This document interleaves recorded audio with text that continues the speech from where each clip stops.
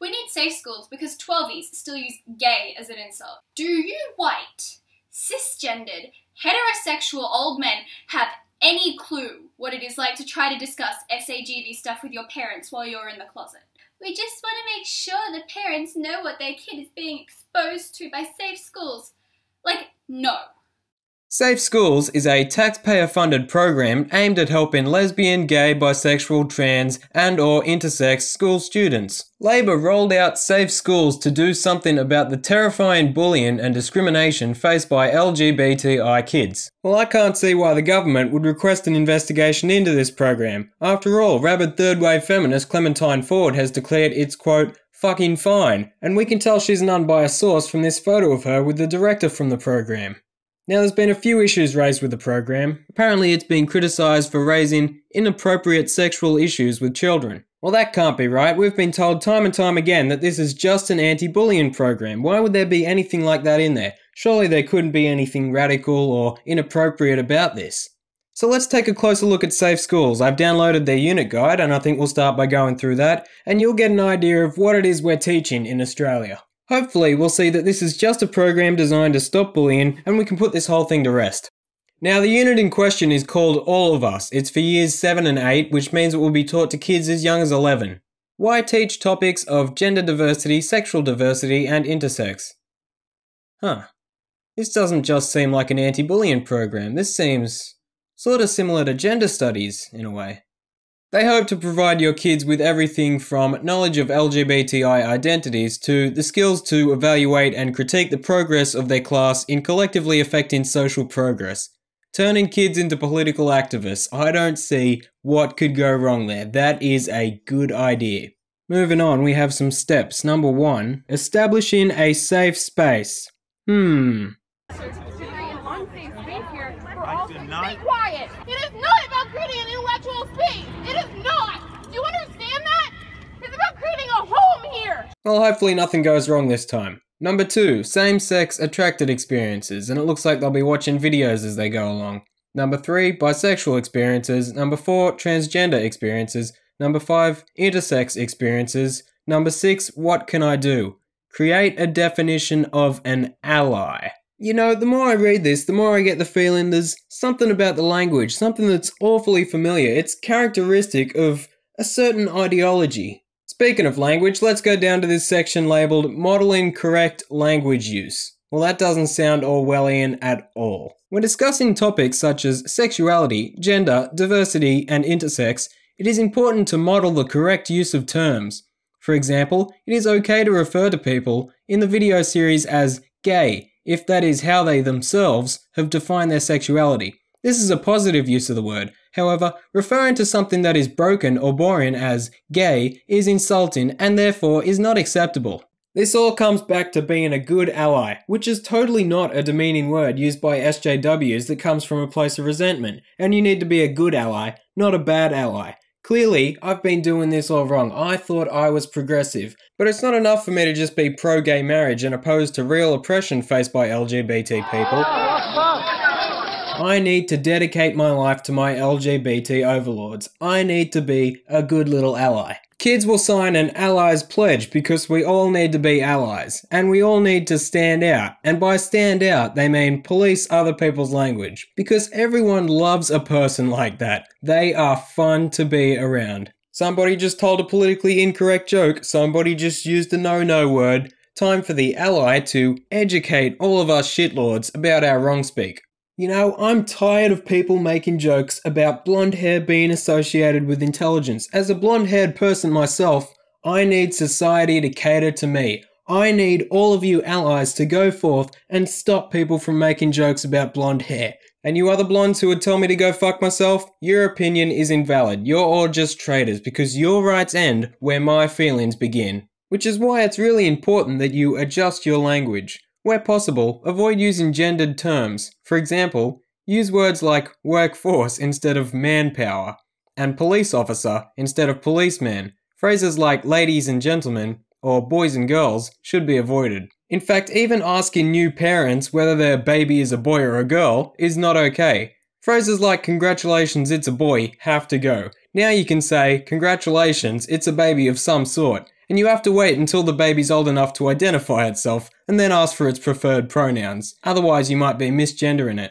So, aside from ally, there's a whole bunch of fun words they're going to teach kids, like heteronormativity, because the kids need to learn that just because the vast majority of people are heterosexual doesn't mean that heterosexuality constitutes a norm. Here's one of the more controversial activities that's been brought up in the media. Because of this, you've had people accusing the LGBT activists responsible for the program of crossing the line and sexualizing children and that sort of thing.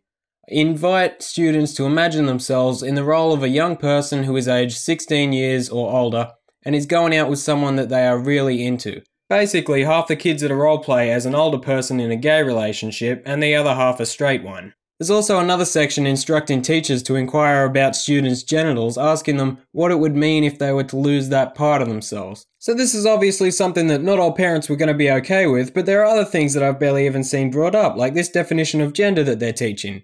Building blocks of identity, gender. Gender identity. We each have our own unique identity or way we think and feel about ourselves. This might include being Australian, our family's cultural background, as well as the city, town, or state we live in. There are three in particular that help us build our identity the sex we were assigned at birth, our gender identity, or our sexual identity. Gender isn't quite as simple as whether you're male or female. Everyone has their own gender identity in relation to masculinity and femininity. Some identify with both, and some don't identify with either. It's up to the individual to describe what gender identity fits them best. There are a whole range of different words people use to describe their gender identity. Here are just a few examples. So let's take a look at these. We see some familiar ones male, female. I'm guessing these are the ones that are simply assigned when you're born. Trans guy, trans girl. The middle section's the most interesting here gender neutral. Androgynous, gender queer, non binary, agender, all genders. According to the glossary, under gender diverse, a person may identify as neither female nor male, or as both. You can identify as some superhuman male female hybrid or no gender at all. You have transcended gender in reality. It's all part of being non binary. How about all genders, otherwise known as pangender? Not only can you be more than one gender, you can just be all of them. All the fucking genders. Why not? And remember, these are just a few examples. There are new genders being made up all the time, so that's quite a commitment. In fact, there are an infinite amount of genders, confirmed by non-binary org. Pangender is a non-binary gender experience which refers to a wide multiplicity of genders that can tend to the infinite. It's like having a lifetime subscription to every gender that'll ever be made. In fact, you don't even need to know about a gender to identify as it.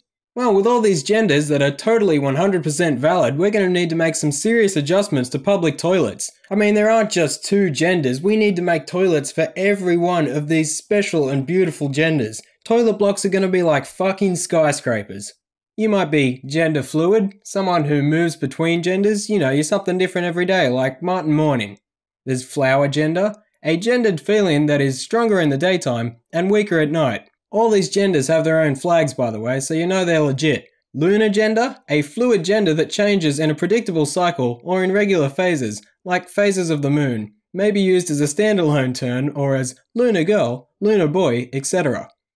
Loku gender, a fluid gender that changes based on location. Imps, imps gender, a gender that flips or changes rapidly and impulsively, often too quickly to be traced. You call them Sir and they'll madly tell you, Sir was my preferred pronoun five seconds ago, now it's Sephiroth. And in case you're wondering, yes, the good people at Safe Schools really assert that fluid genders are a thing. You can read all about it in their booklet, OMG, My Friend's Queer, because they're in touch with the kids. Kids really like their OMGs. Have you considered that you might be a demigirl, someone partly girl, and something else, without defining that other part? You can be just about anything. Be creative, the possibilities are endless. I have a mummy and daddy, a, a adopted mummy and daddy, who are totally comfortable with me being a little girl and Is this an African American woman or is that a Caucasian woman? I identify as black. Um, my gender identity is still Japanese. I sexually identify as an attack helicopter. Now, of course, that last one's a joke, but the saddest thing, the saddest thing is, it's no more ridiculous than everything else I've just shown you. You can't parody this. You can't get more ridiculous than multiple genders, fluid genders, non binary, all genders. These are made up terms they've invented.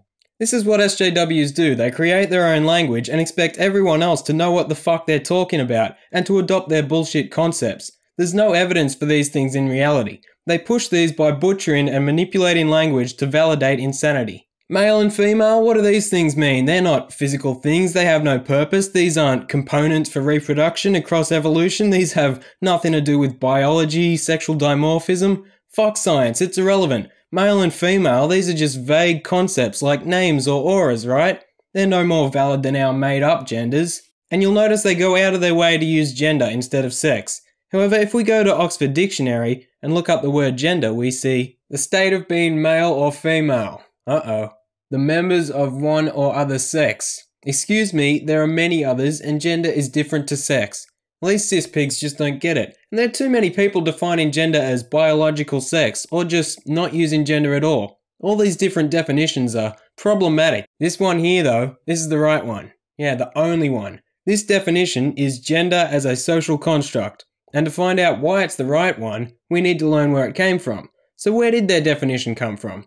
Well, if you were to go to Wikipedia, you'll find a certain man referenced. Sexologist John Money introduced the terminological distinction between biological sex and gender as a role in 1955. Before his work, it was uncommon to use the word gender to refer to anything other than grammatical categories. However, Money's meaning of the word did not become widespread until the 1970s, when feminist theory embraced the concept of a distinction between biological sex and the social construct of gender. Today, the distinction is followed strictly in some contexts, especially the social sciences. Hmm, so who was this John Money guy? Well, if you've seen Tumblrism Cis Scum, then you'll know exactly what it is we're going to find out about John Money. Well, if you were to, I don't know, take a moment to look him up on Wikipedia, you might uh, find a, a strange little link going to somebody called David Reimer. I, I don't know who that is. It must not be somebody important. Uh, maybe that's somebody John Money helped, right? I mean, I mean, he's somehow connected to John Money. Let's, I don't know. Let's just take a look. What the hell? Uh, David Reimer, 1965 to 2004. Oh, he's dead. Oh, well, well let's, let's get whatever. Was a Canadian man, born as a healthy male, but was sexually reassigned and raised uh, as female after his penis was accidentally destroyed during circumcision. That's a bit rough. Uh, psychologist John Money, oh, here's the connection, oversaw the case and reported the reassignment as successful and as evidenced that gender identity is primarily learned. Hmm, hmm, that's interesting. So he used this as a foundational piece for his, his ideology, his philosophy. I, I guess this must have turned out well for David. I mean, here's John Money, the, the person responsible for putting this idea out there, and here's a case where a boy is you know, disfigured, but you know, John's like, hey, it's okay, we'll just cut the rest of it off and give you some hormone pills, call you Susie, and you'll be fine. Oh, wait a second, though. What does this? What does this say? Academic sexologist Milton Diamond later reported that Reimer failed to identify as a female since the ages of 9 to 11, and then began living as a male at age 15. Uh, severe depression, committed suicide, financially unstable, troubled marriage. Huh, sounds like everything worked out well for him. Oh, you know, except for that whole suicide thing. But uh, you can't blame that on Dr. Money. I let's let's He'd probably handled this with the utmost care. Oh, what is this? Uh, Doctor Money forced the twins to rehearse sexual uh, acts involving thrusting movements, with David playing the bottom role. David Reimer uh, painfully recalled that as a child he had to get down on all fours with his brother Brian Reimer up behind his butt, with his crotch pressed against his buttocks. Dr. Money forced David in another sexual position to have his legs spread with Brian on top. Dr. Money also forced the children to take their clothes off and engage in genital inspections, and on at least one occasion took photographs of the two children during these activities. And just in case you thought this sick individual, who was responsible for the tortured life and eventual suicide of this kid, couldn't be any more disgusting, Money held the view that so called affectional pedophilia is caused by a surplus of parental love that became erotic and is not a behavioral disorder. Rather, he took the position that heterosexuality is another example of a societal and therefore superficial ideological concept. Fucking hell. So here we have a pedophile, a child molester, a failure who set out to prove that gender was a social construct and ended up proving that gender is in fact not a social construct when his test subject failed to be fooled into thinking he was a member of the opposite sex and killed himself. And on top of all that, John Money tried to use this case as proof of his theory meaning the entire basis for the idea that gender is a social construct, relies on an omission of the facts. In fact, it relies on outright lies.